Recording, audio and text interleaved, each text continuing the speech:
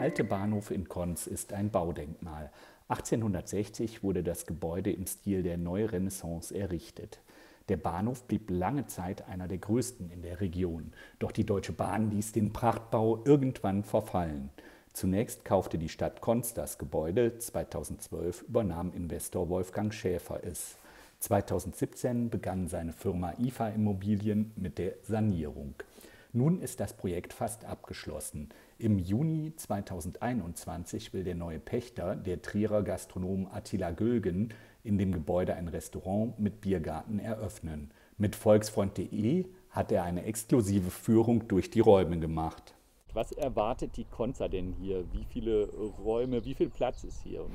Also die Konza erwartet hier, wir werden äh, regionale Küche hier anbieten, regionale Weine, äh, wir haben draußen ca. 250 äh, Außenplätze und 250 Innenplätze. Am Sonntag haben wir hier große Frühstückbuffet, wo die Familien sich treffen, Oma, Opa, die ganze Konsa quasi hier sich treffen können.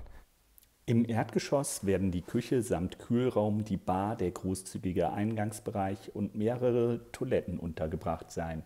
Herzstück wird aber sicherlich der Gastraum mit sechs Meter hohen Decken sein.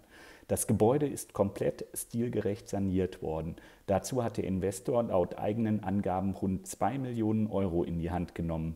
Gülgen hat nochmal einen sechsstelligen Betrag draufgelegt.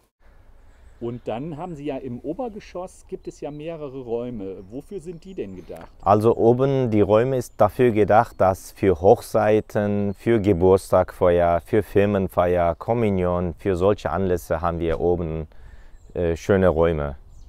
Und äh, da können wie viele Leute ungefähr rein dann? Sie hatten, glaube ich, 50, 60 gesagt. Also wir haben hier aus, ter, zwei Terrassen oben. Die rechte Seite sind ca. 50 Außensitzplätze und 50 auf der anderen Seite. Quasi 70, 80. Äh, zwei Hochzeiten können da gleichzeitig stattfinden, wie linke Seite und rechte Seite quasi. Okay, und dann werden Sie um dieses, das ist ja ein großes Gastroprojekt, da werden Sie ja auch hier ein paar Leute einstellen. Was haben Sie denn da geplant? Ja, genau, wir werden äh, circa 20 Festangestellte und circa 15 bis 20 Aushilfen äh, einstellen. Gut, und haben Sie das Personal auch schon gefunden jetzt? Ja, wir haben schon äh, circa 10 Leute gefunden. Wir suchen immer noch äh, Personal. Vielleicht können sich ja ein oder andere bei uns bewerben. Wir würden uns sehr freuen.